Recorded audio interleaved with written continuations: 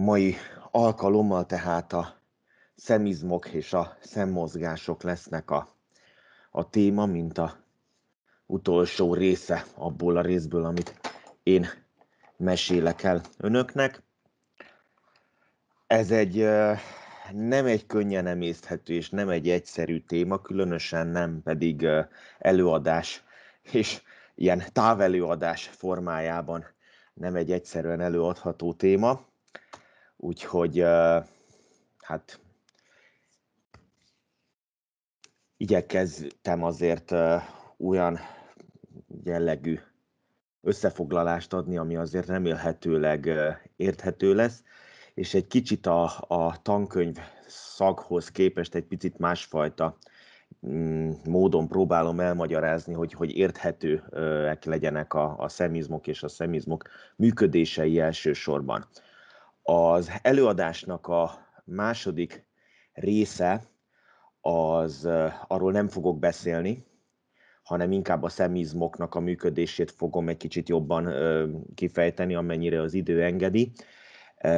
A másik ok, ami miatt nem lesz szó arról, ami a PDF-nek a, a második felében van, hogy az nagyon érthetetlen lenne most még, amíg a, a agyi és agytörzsi makroszkópiát nem hallották és nem tanulták.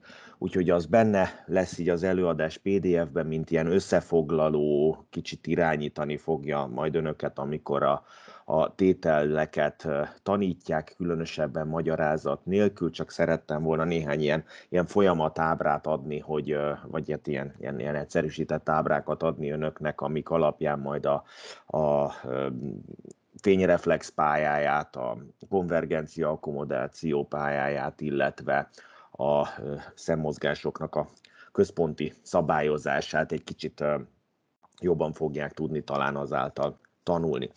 Szóval szemizmok. Alapvetően a külső szemizmok, tehát ezek haráncsikolt izmok, tehát szomatomotoros beidegzésük van, és a három szemmozgató ideget, amelyek ezeket az izmokat beidegzik, ezeket már ismerik, ugye az oculomotorius, a trochlearis, és a nervus abducens, 3-as, 4-es és 6-os agyidegek. A szemgolyóhoz összesen négy darab egyenes, úgynevezett rectus izom tartozik. Ezeknek a teljes neve az lenne, hogy rectus bulbi superior, medialis, inferior és lateralis, de ha egész egyszerűen csak rectusnak hívjuk őket, akkor az is teljesen oké. Okay. Az általában a rövidítésük is elég jól kitalálható, hogy ugye az RS az a rectus superior, a RM rectus medialis és a többi. És ezen kívül van még kettő darab ferdeizom, ezek ugye az obliquus izmok, van egy obliquus superior, ennek is ugye a teljes neve az lenne, hogy obliquus bulbi, de ezt nem szoktuk, ez az OS, és van egy obliquus inferior, az OI. Ezen kívül van még, ez összesen 6 darab konkrét szemizom, ezen kívül van még az orbitában még egy izom, a musculus levator palpebrae superior, amelyik pedig tehát a ö, szem hénak a fölfelé mozgatásával a szemnyitásnak a, a, az izma. Ez abból a szempontból kakuktojás, hogy az oculomotorius idegzi be akár csak a szemmozgató izmokat, ez viszont nem tartozik a szemmozgató izmok közé. Tehát ennek a funkciójáról ö, többet nem is szeretnék beszélni, és a továbbiakban koncentráljunk csak arra a hat izomra, ami most a számunkra érdekes lesz.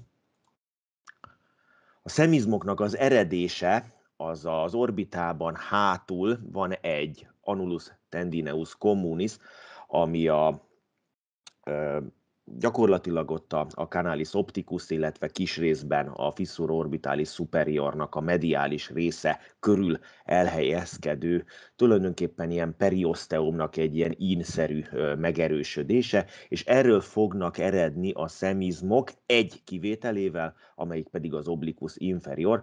Az obliquus inferiornak az eredése az itt a mediális előső részbében történik az orbitának, tehát ez az egyetlen, amelyik egyik nem, tehát a másik öt, illetve a levátor palpebrae superiorral együtt a többi hat izom, az viszont erről a közös inas gyűrűről fog eredni.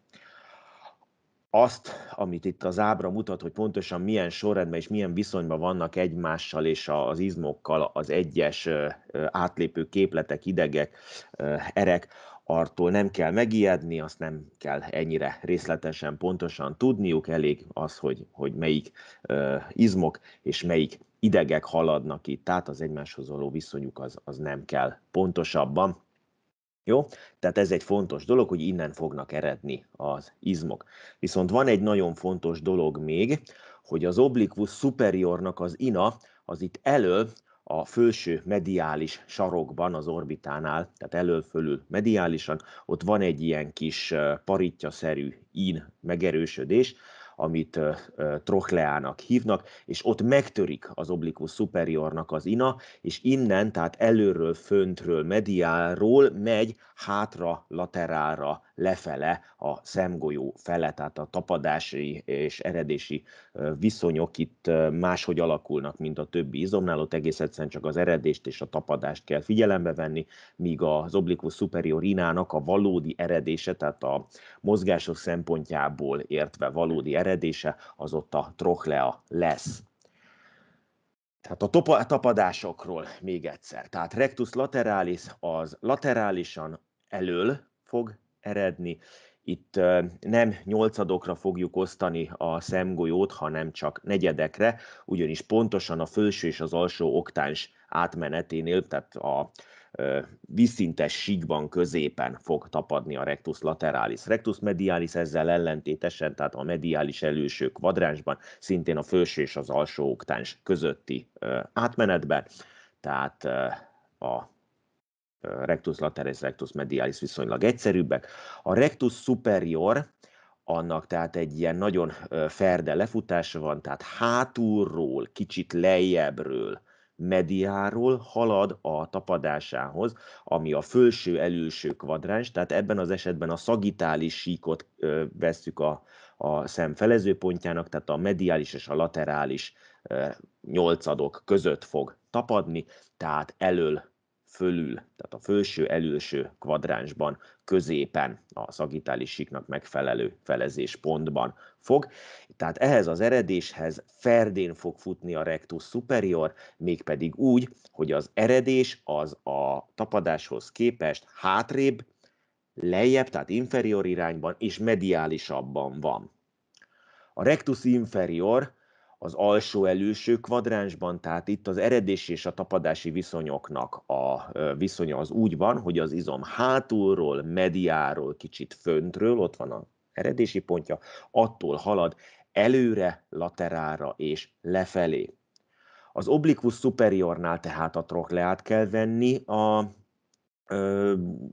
innak az eredési pontjának, tehát ehhez képest előről, föntről, mediáról halad az in, hátra, lefelé a szemgolyóhoz, és laterál felé, és itt viszont már oktánsban fog eredni az obliquus superior, mégpedig itt a felső, hátsó, laterális oktánsban. Az obliquus inferior ezzel pont ellenoldalon, tehát előről, lejjebbről, mediáról halad, hátra, kicsit fölfelé a szemgolyó alsó felszínéhez, és laterára, tehát hátra, laterára és kicsit fölfelé, az alsó, hátsó laterális oktánshoz. Tehát ezek a tapadási viszonyok. Ahhoz, hogy a szemizmoknak a működését meg tudjuk érteni, néhány pontnak a megértése és, és, és, és, és először hát lefixálása és a agyban való leülepedése szükséges.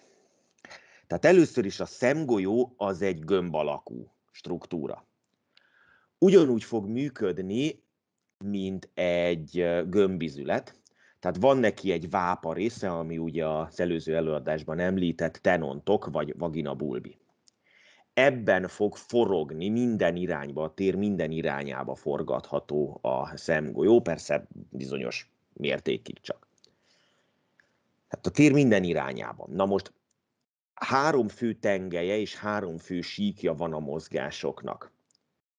És még egy dolog van, hogy ugye a gömbalak az mind a három iránynak megfelelően felezhető. Tehát lesz egy előső rész, egy hátulsó rész, hogyha a frontális síkban felezzük. Hogyha visszintes síkban felezzük a szemgolyót, akkor lesz egy felső része, meg egy alsó része. Ha a szagitális síkban, a közepénél felezzük, akkor meg lesz egy mediális és egy laterális része.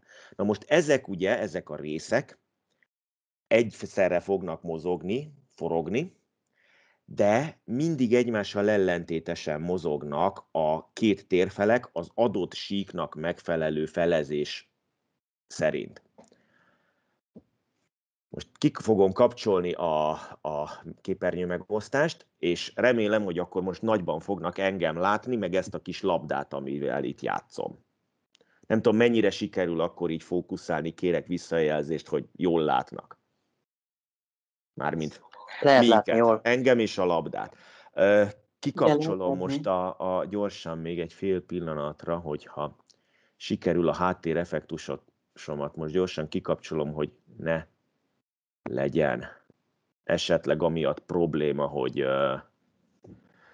hogy rosszul fókuszál. Igyekszem így a kamera felé tartani. Szóval ez, ez, ez egy szivacslabda alapvetően, de ez most a szemgolyó. Jó? azzal ne foglalkozzanak, hogy milyen fajta fölirat van rajta. Ami a lényeges, az az, hogy ez itten a pupilla. Oké? Okay?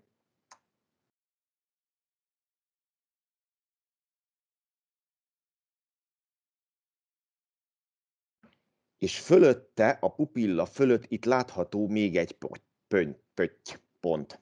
Na. Ezt hívjuk úgy, hogy a referenciapont. Ha emlékeznek, hogy ott volt kiemelve szép nagy betűkkel a, a, a szövegben egy ilyen a ötös, nem, négyes pontnál, hogy referencia pont a pupilla felső szélén középen. Tehát itt található egy referencia pont.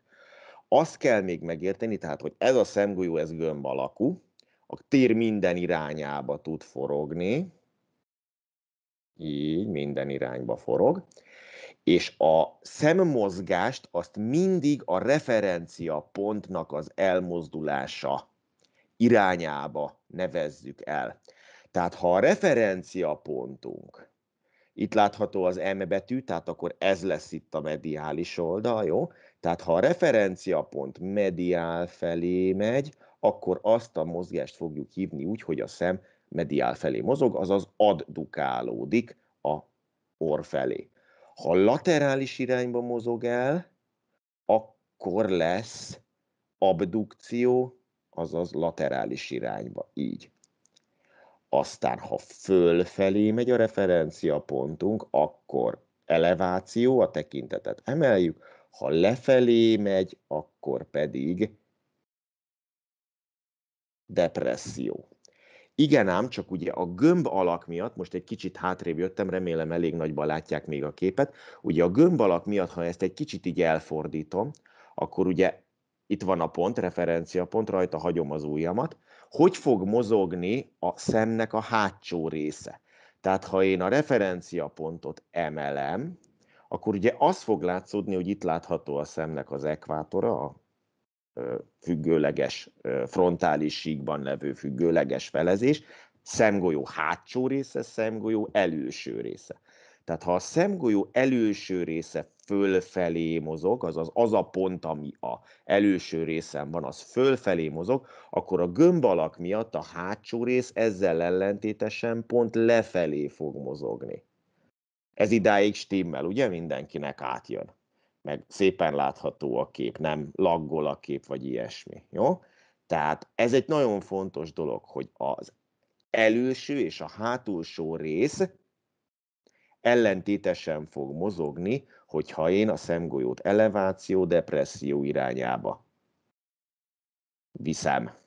Vagy hát helyesebben szóval a tekintésnek az iránya fog elevációs depressziónál megváltozni. Oké? Okay? Tehát a szemgolyó előső része mozog fölfelé eleváció, akkor a hátsó rész lefelé, vagy a hátsó részen fölrajzolt pont lefelé fog elmozdulni. Így. Ez milyen tengely mentén történik ez a mozgás? Az eleváció és a depressziónak a tengelye az a transzverzális tengely. Tehát a transzverzális tengelyt kell nézni, és a frontális síkban történő felezést kell figyelembe venni, hogy a szemgolyó előső része föl, a hátulsó része lefelé megy, akkor eleváció, ha az előső rész lefelé, a hátulsó rész fölfelé mozdul el, akkor pedig depresszióról beszélünk.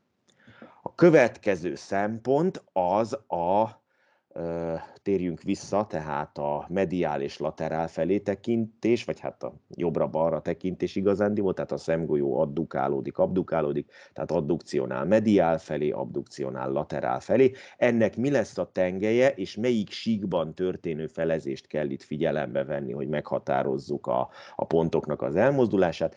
Ez egy függőleges tengely mentén történik, tehát kicsit messze jövök, tehát így, így, így fogom, függőleges tengely mentén, így, és melyik síkot kell nézni, itt megint csak az elő és a hátul, tehát a frontális síkban történő felezés fog számítani, mert ugyanis amikor én fogom és én mediál felé mozgatom a szem előső részén levő pontot, akkor a hátulsó rész ezzel ellentétesen, tehát megint csak itt van ugye a referenciapont az ujjamnál, ha ezt most magam felé mozgatom, akkor a hátsó rész fog pont önökkel szembe fordulni, tehát ellentétesen tőlem elfelé mozog.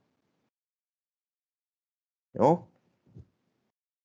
Harmadik típusú elmozdulás, mi a maradék tengelyünk, tehát ugye megvolt a transzverzális tengely, megvolt a longitudinális tengely, és akkor lesz még egy szagitális tengelyünk, ami pedig így megy keresztül a szemgolyón, így. Szagitális irányban. Na most szagitális iránynál jönnek ki ezek a harmadik nyilak ott, amikor erre vagy erre történik a szemgolyónak a forgatása. Ezt hengerítésnek hívjuk, de rotáció az teljesen jó szó rá, tehát rotáció. Rotációnál tehát, ha a referencia pontunk, ami elől fölül van a pupilla fölött, az fordul mediál felé, akkor befelé rotációról, hogyha kifelé forog így, így, akkor beszélünk kifelé rotációról, tehát befelé hengerítés, vagy kifelé hengerítésről. Ebben az esetben az egymással ellentétesen mozgó részek az a felső és az alsó térfél, tehát a transzverzális síkban, a horizontális irányban történő felezés számít. Tehát a felső rész mediál felé, akkor az alsó rész laterál felé, az alsó részen fölrajzolt pont laterál felé mozdul el. Jó? Ez mindjárt ér, legalábbis reményeim szerint, hogyha ezt tudták eddig követni, akkor reményeim szerint mindjárt érthető lesz, hogy ez hogy, ez hogy is néz ki, úgyhogy akkor vissza a vetítéshez. Szóval, tehát van a négy kvadránsunk, a nyolc oktánsunk, az egymással ellentétes elmozdulásnak megfelelően ezek is a térfeleknen való elhelyezkedésüknek megfelelően fognak mozogni van a referenciapontunk, annak az elmozdulását kell mindig figyelembe venni ahhoz, hogy a mozgást elnevezzük, és akkor a az izmoknak a működését úgy fogjuk tudni megérteni, és tartósra megjegyezni, hogyha, hogyha ezt megértjük, hogy a tapadási pontnak, az izom tapadási pontjának a viszonyát nézzük, az eredés és a tapadás, tehát közelítjük egymáshoz az eredési tapadási pontokat, megvizsgáljuk, hogy akkor a tapadási pont milyen irányba fog elmozdulni a mozgás tengelyek körül, és akkor ez a referencia pontban milyen fajta elmozdulást fog eredményezni, ez alapján tudjuk a, a, a, a, a mozgást elnevezni. Ez így elmondva baromi bonyolultnak hangzik, ezt tudom, tehát sokkal egyszerűbb lesz, hogyha majd a labdával megmutatom és, és, és, és megcsináljuk. A következőre menjünk. Tehát, még egyszer. Tehát a referenciapont elmozdulásainak megfelelően, tehát transzverzális tengely mentén eleváció, fölfelé, emelés, lefelé sűjesztés, depresszió lehetséges, longitudinális tengely mentén, mediál felé, befelé térítés, addukció, kifelé térítés, abdukció lehetséges, És van még a hengerítés, tehát amikor kifelé, laterális irányba mozdul a referenciapontunk, vagy pedig befelé hengerítés, mediális irányba mozdul el a referenciapontunk, ez van tehát szagitális tengely mentén, ezek a szemmozgások. Az egyes izmoknak a funkcióit azt kétféle módszerrel lehet tehát megtanulni. Az első módszer, ez kicsit olyan, mint a, mint a, a jedik és a szitek. Tehát van a, a, a sötét oldal, meg van a, a világos oldal. A sötét oldal nem erősebb, csak könnyebbnek tűnik elsőre, tehát akkor követjük ezt az oldalt, hogyha fogjuk magunkat és bebiflázzuk értelem nélkül. Na most ebben az esetben vizsgán az első kérdésnél összezavarodunk, és akkor csak a szerencsében bízhatunk, hogy a megfelelő szöveget mondjuk, vagy teljesen belekeveredünk a tételbe.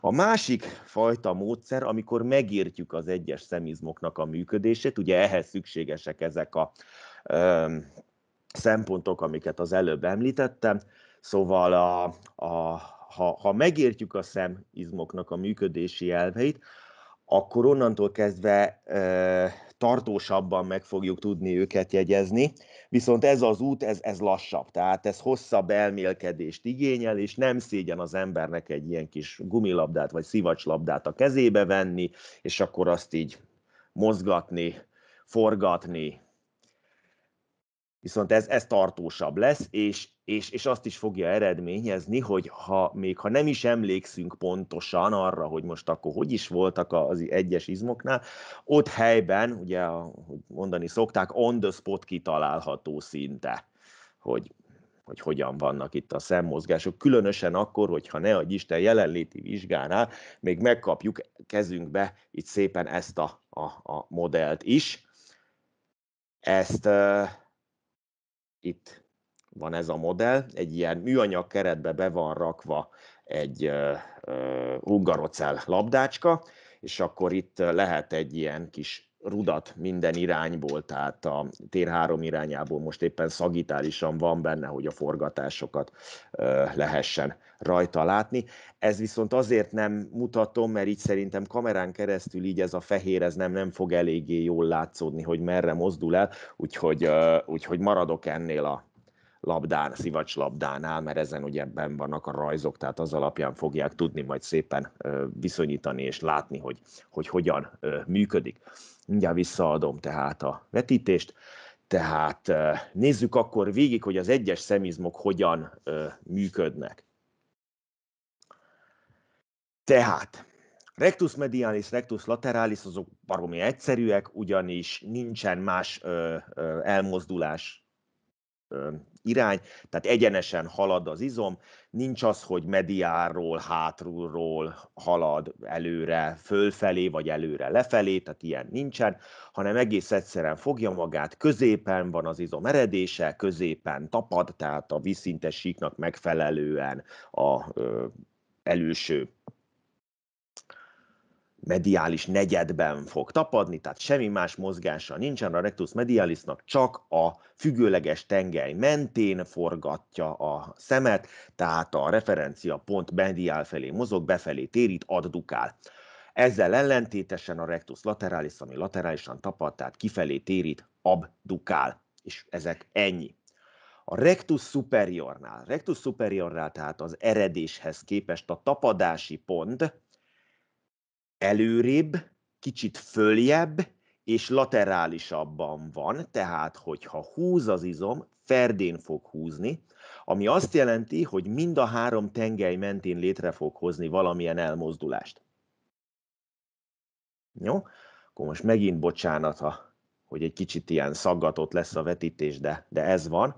Tehát most megint engem kell nézni, és a labdát. Tehát itt van a szemgolyó, itt van rajta a mi referenciapontunk, a tapadási pontja az izomnak az itt pontosan a referenciapont fölött lesz. Tehát a referenciapont az ugyanabban a negyedben fog elhelyezkedni, mint az izomnak a tapadása, és nem tudom mennyire látszik így most a, a, a kezem és a karom, tehát így fut az izom, tehát hátulról Bocsánat, másik irányból kell mutatnom, mert most nézem, így. Jó, így, így látszik, ugye? Tehát így jön a, a, az izom, mint ahogy a karom van. És a kezem rajta a tapadáson. Tehát hátul vagyok a szemgolyó mögött, és a tapadáshoz képest egy picit lejjebb, és mediálisabban. Tehát, hogyha itt fogom így húzni a szemet, akkor látják azt, hogy többféle elmozdulás jön létre. Vizsgáljuk meg tengelyek szerint. Az első tengely, tehát legyen a transzverzális tengely, hogyha így húzok, akkor az előső pontot fölfelé, a hátulsó pontot lefelé, de mivel a referenciapontunk elő van, tehát a rectus superior a tekintetet emelni fogja. Ez azért van, mert az eredés lejjebb van, mint a tapadás, és így történik akkor az elmozdulás. Remélem jól látható és érthető.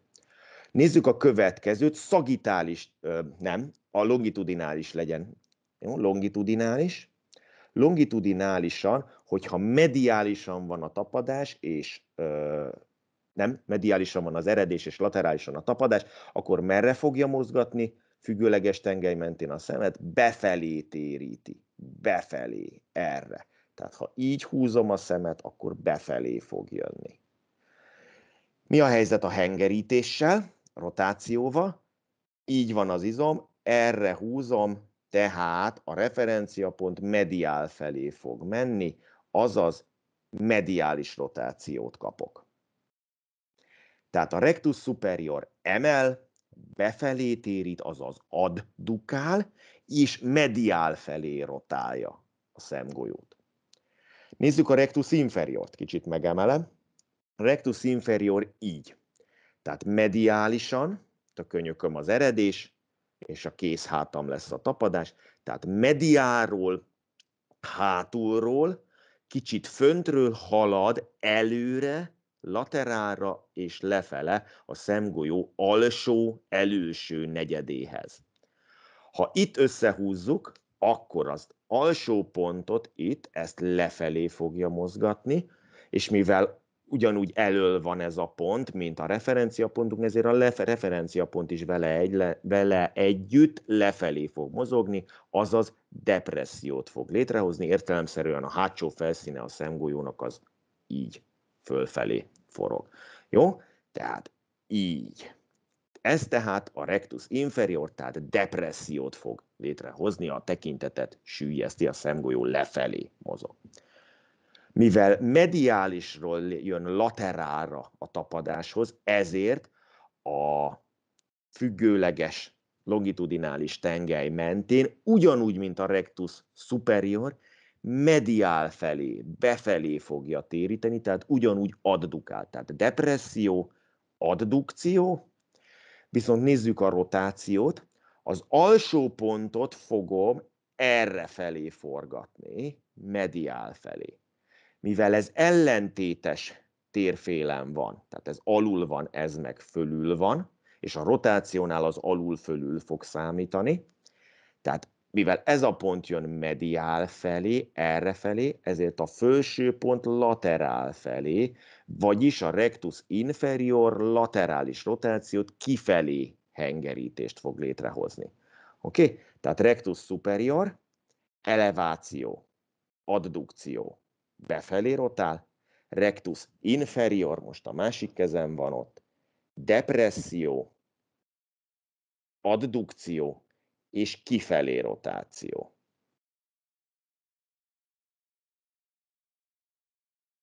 Oké? Okay? Megvolt a négy rectus izom ezzel. Remélem sikerült követniük. Jöjjön az obliquus superior és az obliquus inferior párosa. Ők a bonyolultabbak, mert hogy nem elől, hanem hátul tapadnak, és nem negyedben, hanem oktánsban.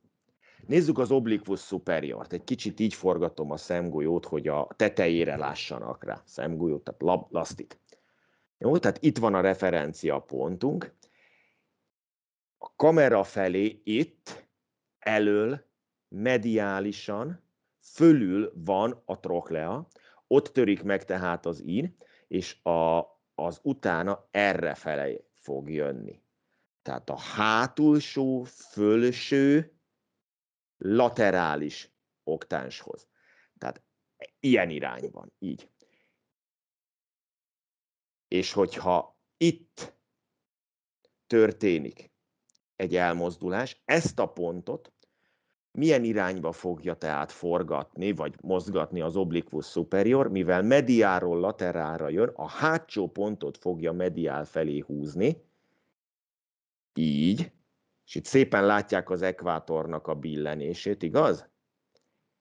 Vagyis az előső pont merre fog elmozdulni, ha hátulsó pontot húzom mediál felé, akkor az előső pont laterál felé fog elmozdulni, vagyis az obliquus superior az kifelé térít, abdukál. Következő, előről hátrafele jön, vagyis ezt a hátsó pontot fogja egy kicsit előrefelé húzni. Ezzel ellentétesen az előső része a szemnek pedig felém fog elmozdulni, hogyha most ugye fölülről néznek rá, és ez a rész felém mozdul, akkor felém van lefele, vagyis ha ezt a hátsó pontot előre felé húzom, akkor az elől levő referenciapont lefelé fog elmozdulni, azaz az obliquus superior, a függőleges irányú mozgások közül melyiket fogja létrehozni?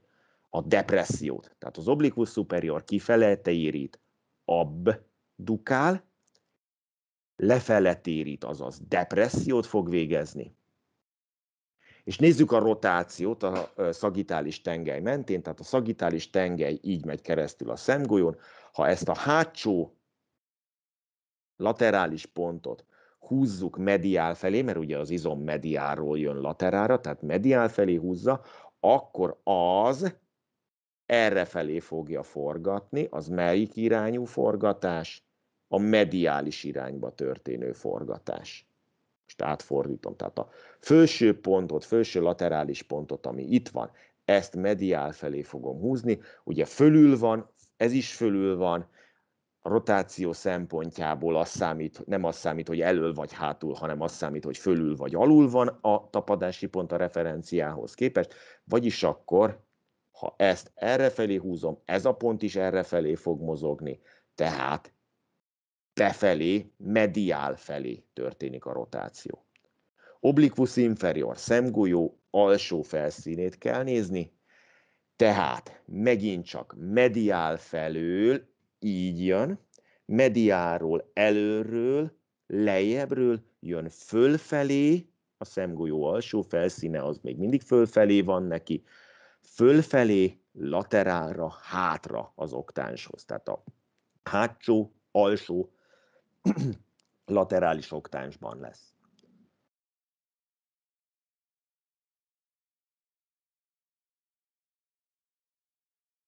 Tehát, ha ezt a pontot mozgatom erre felé, tehát erre, akkor ezt az alsó pontot a transzverzális tengely mentén nézzük, ezt előre felé húzom ami azt jelenti, hogy lefelé mozdul el, vagyis az előlevő, elől fölüllevő referenciapont emelkedni fog. Tehát obliquus inferior első működése az eleváció. Megint csak a hátulsó pontot húzom mediál felé, tehát most a ö, függőleges tengely mentén nézzük, mediál felé, akkor látszik a labdának, az ekvátorának, ennek a vonalnak az elmozdulásából, hogy megint csak merre fog elmozdulni az előső rész. Ha ez megy mediára, ez megy laterára. Így. Vagyis az obliquus inferior is kifelé térít, abdukciót hoz létre. Rotáció. Szagitális tengely mentén ezt a pontot fogom erre felé húzni, akkor hogyha szemből nézzük, merre felé tér el a referenciapontunk, kifelé, rat, laterál felé, tehát laterális rotációt fog létrehozni. Ez az obliquus inferiornak a működése. És szerencsére meg volt mind a hat izom, tehát ennyi, nem lesz még egy. Jó, akkor most visszaadom a vetítést. Oké. Okay. Szóval,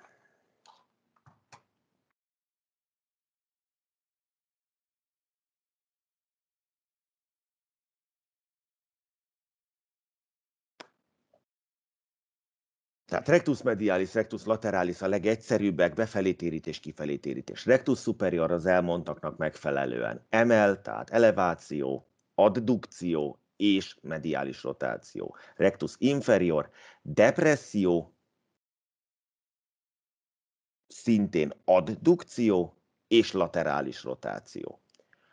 Obliquus superior, tehát superior, de mivel a hátsó részt emeli az előső rész, sűjeszti, tehát depresszió, kifelé térít, tehát abdukál, tehát hátsó rész mozog mediára, akkor az előső rész laterára, ennek a nyílnak megfelelően, tehát abdukció és mediális rotáció itt ez a nyíl. Tehát depresszió, abdukció és mediális rotáció, obliquus inferior, eleváció, abdukció és kifelé rotáció. Tehát ezekhez a funkciókhoz azáltal jutottunk el, hogy a tapadási eredési pontokat közelítjük egymáshoz egy az adott megfelelő tengely, tehát szagitális, longitudinális vagy transzverzális tengely. Megnéztük, hogy a referenciapont azonos vagy azzal ellentétes oldalon van a mozgás tengelyhez képest. Ha azonos térfélen van, akkor ugyanarra mozog, mint a tapadás. Ha ellentétes oldalon van, akkor ellentétes irányba mozdul el, tehát mindig a referenciapont elmozdulásának az irányát, miután ezt megállapítottuk, hogy az merre van, annak megfelelően meg tudjuk nevezni a mozgást. Ez idáig még mindig baromi bonyolult, akkor egy picit nézzük az összefüggéseket, ami alapján egy kicsit talán egyszerűbb lesz a, a, a megtanulás. Ugyanis az izmok, ahogy az előzőekben láttuk, vannak olyan izmok, amelyeknek csak egy, tehát a rectus medialis, rectus lateralisnak csak egy működése van, úgyhogy őket ki is hagyhatjuk innentől kezdve, az egyszerű. Viszont mind az obliquus izmok, mind a rectus izmoknál izmonként három különböző funkciót soroltunk fel. Viszont, ha veszünk két izmot, akkor azoknak mindig lesz egy olyan mozgása, amelyik ugyanabba az irányba megy. És a másik két mozgás pedig pont ellentétes irányú lesz. Ez azért van, mert az elevációnál és a depressziónál egyenes irányba, tehát függőleges irányba lehet csak mozgatni a szemet, amikor fölfelé vagy lefelé tekintünk. Ez azt fogja jelenteni, hogy az a két izom, amelyik ilyenkor együttműködik, azoknak a fő mozgása, tehát a elevációs, a depresszió az egy irányba kell, hogy essen, a másik két mozgás meg ellentétes irányba kell, hogy menjen. Tehát akkor vegyük az elevációt. Az elevációt először is, tehát melyik két izom fogja létrehozni, a rectus superior végez elevációt, és az obliquus inferior végez elevációt. Itt sárga pöttyel berajzoltam ide a referenciapontot, és a referencia pontra vonatkoztatva rajzoltam be a rectus superiornak a, a, a mozgásait, mozgás irányait. Tehát csinál elevációt, mediál felé, befelé téri, tehát addukciót, és befelé, mediál felé rotál. Tehát ezek a nyílirányok.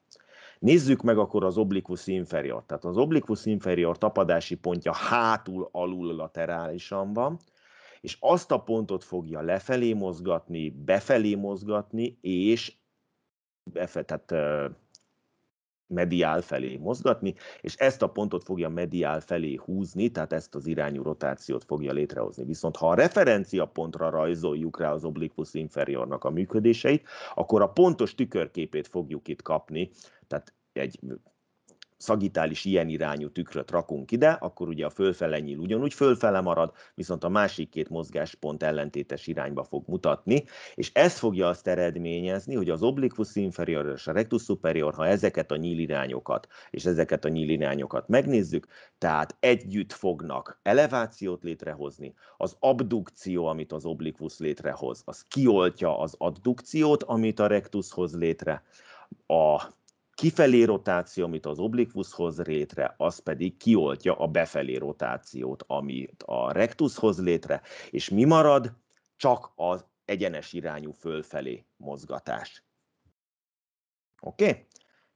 Tehát ha megtanultuk a rektuszoknak a működését, és megtanuljuk azt, hogy melyik rektusz melyik obliquusszal fog együtt működni, akkor már csak az egyik izomnak a, a nyilait kell pontosan megtanulnunk, mert a másiké kitalálható belőle. Mert ugye a fő mozgásnak egy irányba, a mellék mozgásoknak pedig ö, ellentétes irányba kell mennie, tehát akkor a egyiket kell csak már megtanulni.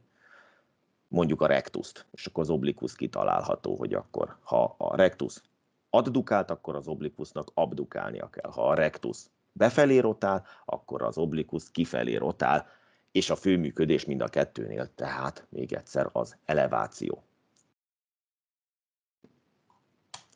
Menjünk tovább. Rectus inferior és obliquus superior fog együtt működni, és így fogják csinálni a depressziót.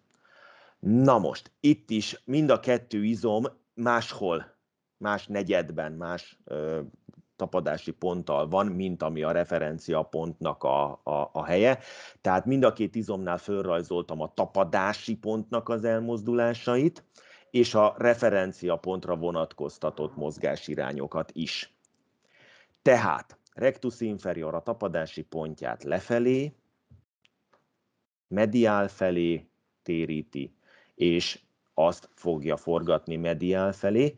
A referencia pontnál tehát a depresszió és a, az addukció vonatkoztatásában mind a kettő elől van, tehát egy irányba megy, míg a forgatás szempontjából ugye ott a visszintes felezés számít, tehát az akkor ellentétes irányba fog ennek a pontnak az elmozdulása történni, tehát a rectus inferior depressziót, addukciót és kifelé rotációt fog létrehozni. Ehhez képest tehát az obliquus superiornál a fő mozgás, tehát a depressziónak azonosnak kell maradnia, a másik kettő pedig egymás, ezek a ellentétesek, tehát pont ellentétes irányú lesz. Tehát a tapadásnál, a tapadást fogja mediál felé húzni, mivel az hátul van, a referenciapont elől van, ezért a referenciapont ellentétesen laterál felé mozog, tehát abdukál, ami tökéletes, mert ki fogja oltani a rectus inferior addukcióját. Tehát ebből a szempontból egyenes lesz a tekintés. Az obliquus superior ezt a pontot befelé fogja rotálni, aha, mivel ez fönt van, meg ez is fönt van. Ez a pont is befelé fog rotálni, tehát mediális rotáció, az pont jó nekünk, mert a rectus inferior laterális rotációját fogja tudni kioltani. És ezzel meg vagyunk. Oké? Tehát ez tehát a rectus inferior és obliquus superior együttműködése. Tehát depresszió megvan, a rectus addukáló hatását az obliquus superior abdukáló hatása oltja ki, a rectus inferior kifelé rotációs hatását pedig kioltja az obliquus superior befelé rotációs hatása. Mi marad? A tiszta, egyenes irányú lefelé mozgatás.